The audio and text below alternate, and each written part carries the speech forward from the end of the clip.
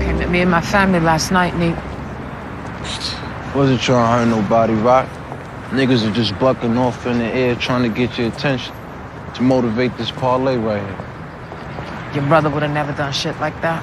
Yeah, maybe not. You see, Ronnie's upstate for the rest of his natural life. And I'm running the show right now, so I do what I want to do. You also bum rush my dudes on 145th. Listen, my niggas got a little wild, they've been checked. But look, Raq, how posted my brother had an agreement that those blocks above 139th is a demilitarized zone, no man's zone. The only little peoples ran in there, snatched that up without checking in. What's up with that? Post deals ain't my deals.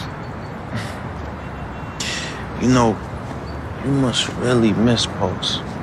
Being that you two were just so madly in love and shit.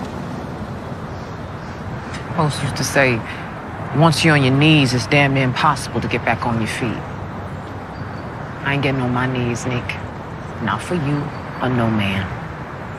You take 140 to 143, I get 144 to Suffolk.